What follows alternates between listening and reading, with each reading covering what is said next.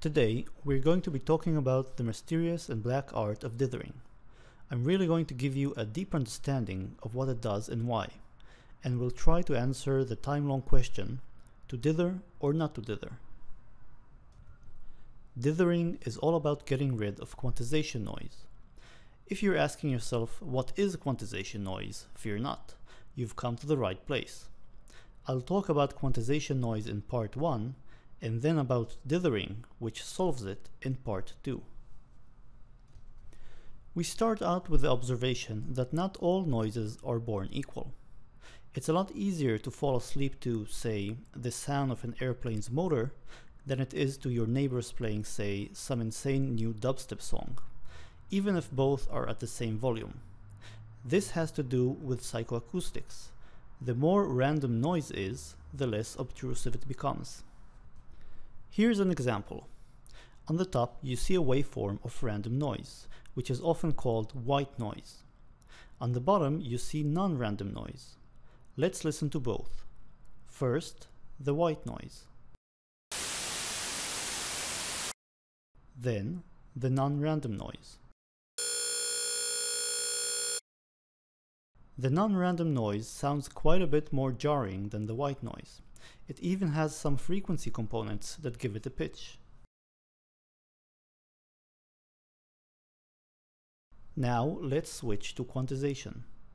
If you haven't watched my video about what bit depth and quantization mean, watch it now, because we're going to make use of those concepts next. Here is a sine wave at a frequency of 480 Hz. This is what it sounds like.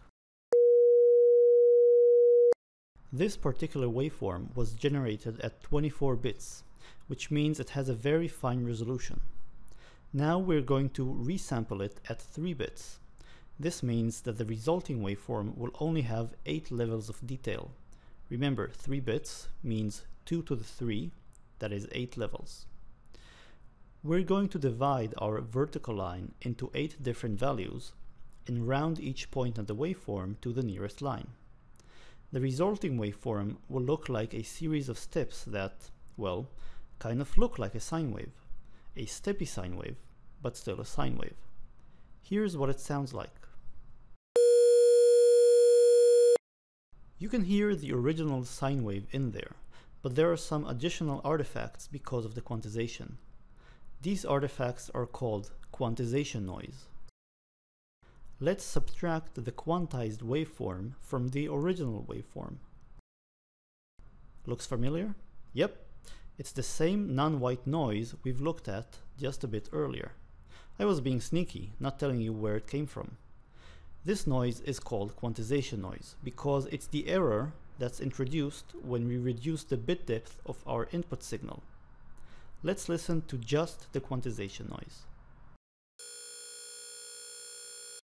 The quantization noise is obtained by subtracting the quantized signal from the original signal.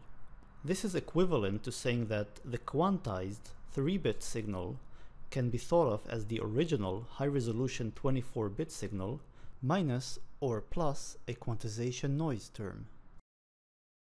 Let's sum up by listening to the different parts.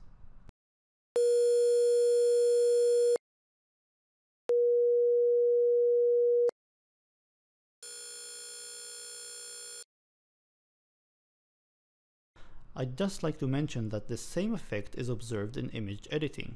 Wikipedia has a nice portrayal of this. Here's an image of a cat with high bit depth, having a rich color palette.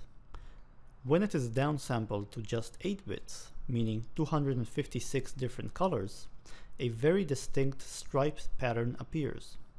This pattern should be thought of as quantization noise. One final insight about quantization noise. The finer the quantization, the smaller the quantization noise. This is because quantization is a process of rounding up or down to the nearest value. The more bits your signal has, the finer these values are, and the smaller the error becomes. Here, you can see the quantization error for the sine wave as it is downsampled to 2, 3, and 4 bits. Note how the quantization noise becomes smaller the more bits we use.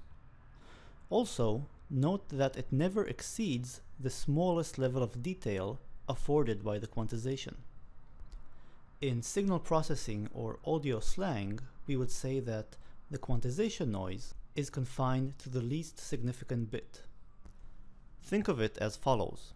If you had to round the number 78 up and had a resolution of hundreds, you would round it up to 100, introducing an error of 22. But if your resolution was finer, say in the tens, you would round it up to 80, introducing a much smaller error of 2. Now, we've already remarked that the white random noise is good, and the quantization noise, which is not random, is bad. Can we somehow make the quantization noise wider and more random? The answer is a resounding yes. This is precisely what dithering does. How this is achieved will be discussed in part 2.